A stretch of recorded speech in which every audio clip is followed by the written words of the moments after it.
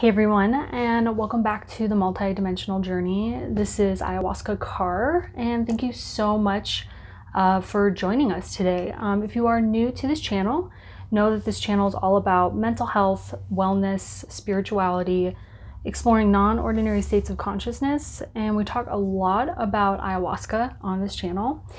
And if you are returning, thank you so much for continuing to return back to the channel. Um, I'm really, really thankful for all of you who keep showing up, keep contributing to the community. Um, you, you know, without your intention um, and your hope for basically self exploration, um, I wouldn't be able to do what I am here to do. So, um, thank you, thank you.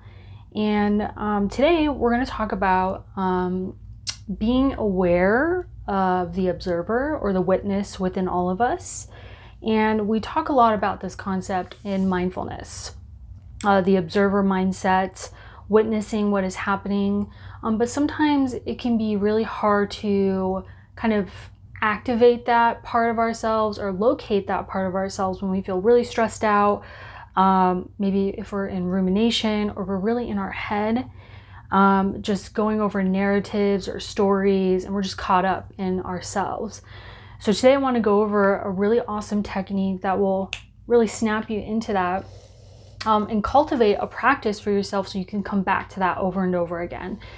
Um, there are a lot of different ways to do exactly what I'm about to show you, but I want to show you something that I've learned. Um, I was actually inspired by it through the Wim Hof process.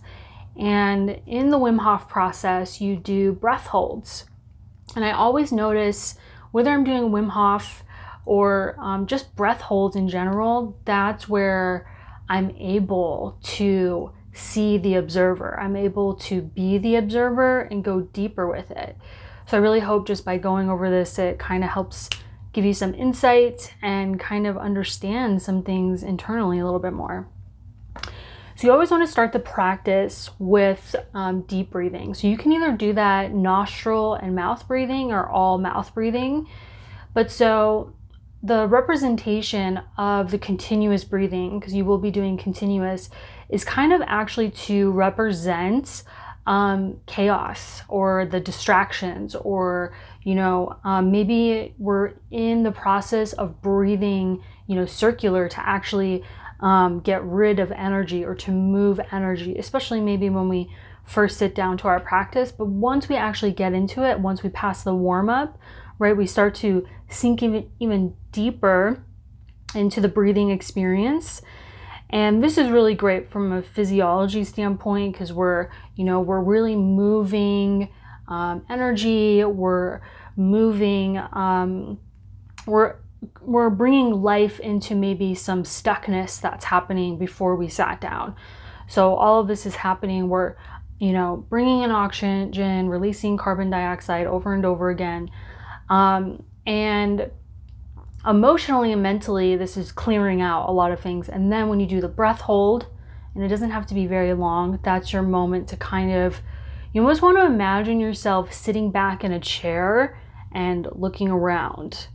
So let's just get into it together. So whenever you're ready, you can do in through your mouth or out through your mouth.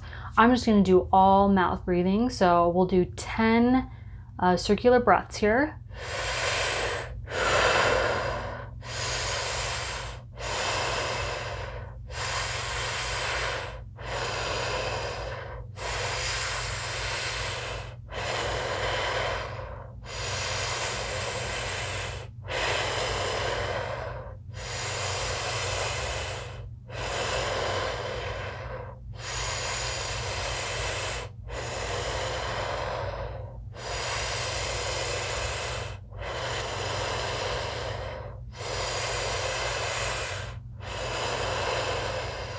Good, last one, and then hold on the out breath.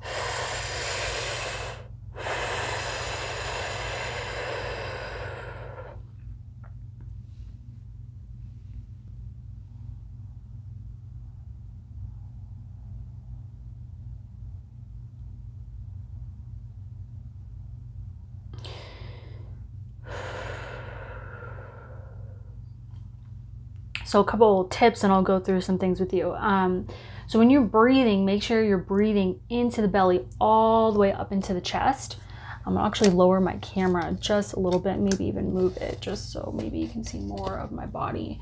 Um, or not since my mic doesn't go far, but um, just know you're breathing all the way belly all the way up into the chest and then out. And when I do it, this is what I recommend, but do what works for you. Um, pursing your lips because it helps you like almost grab the air. So I am forcefully inhaling and out. And kind of what I imagine is like my chakra system. So I'm breathing into all of the chakras and then releasing out. And so you're in this process, and as you do it, you notice the energy building up more and more and more, especially if you're going faster. Um, that obviously will create more intensity, um, but you don't have to do it that way. You can also do it slow.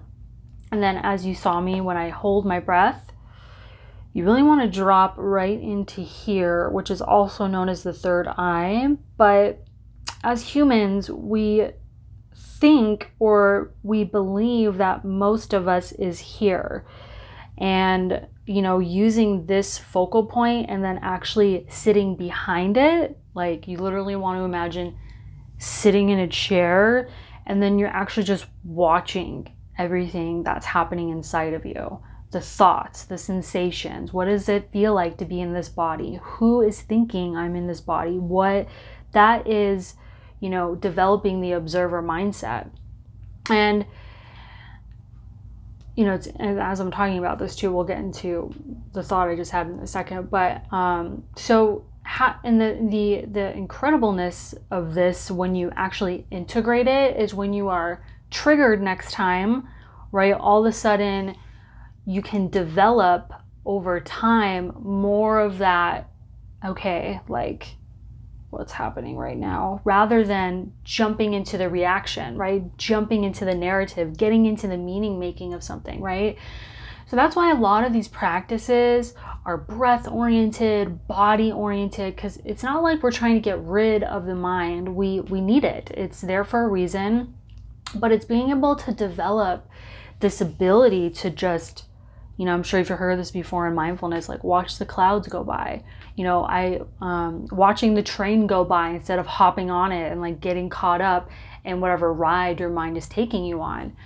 So, doing like three, four, five, however many, however many rounds of this you feel like you need to do to really get into that um, experience, right?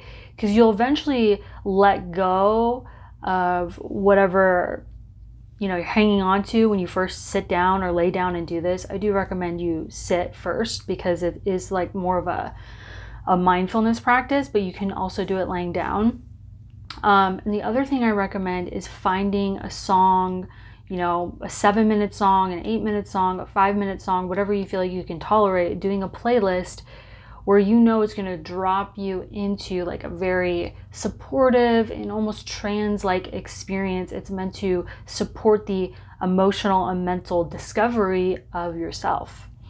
So we'll do it one more time and then I'll talk a little bit more. So whenever you're ready. So fully in and fully out.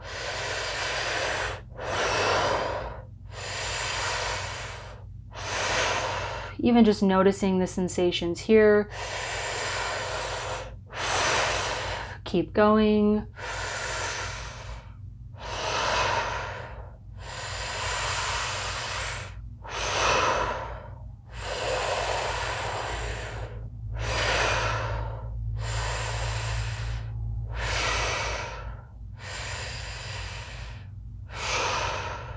Okay, last one and hold.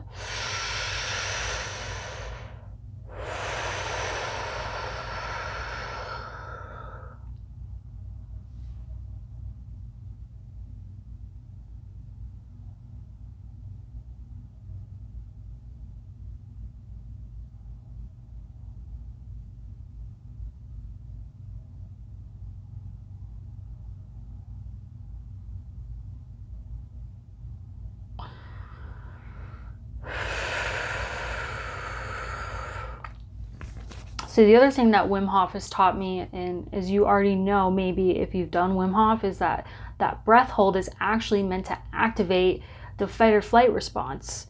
And in terms of building resilience around the system inside of us, that can also be a perfect opportunity to take a, a seat back from it. And I, even when I was doing it, I noticed um, a tightness happening. And once I like kind of sat back and watched, I was able to actually release it eventually. So this is also a huge part of the mind body connection, right? So whatever is happening in mind in our mind is happening in our body and whatever is happening in our body is feeding our mind.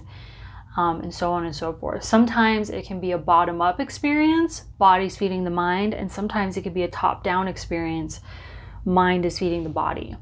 So the the most important thing to realize here is that understanding yourself, understanding your own psychology, understanding your own physiology.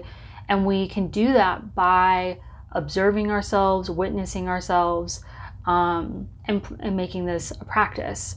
It definitely has to be something that you come back to. I mean, I do this, you know, at least four or five times a week. I can't say I do it every single day, but I definitely do a mindfulness practice every single morning. Um, which has absolutely transformed my life. This is the first year of my life that I've meditated every single day, um, and it's it's a game changer. So just keep that in mind if that's something you're interested in. Um, but please do this practice. Comment below and what your experience is. I would love to hear from you. Um, and yeah, I post videos every Tuesday and Thursday. Um, and if you want to stay up uh, to date with videos, be sure to hit that subscribe button. And I'll see you guys next time. And as always, remember why you came here.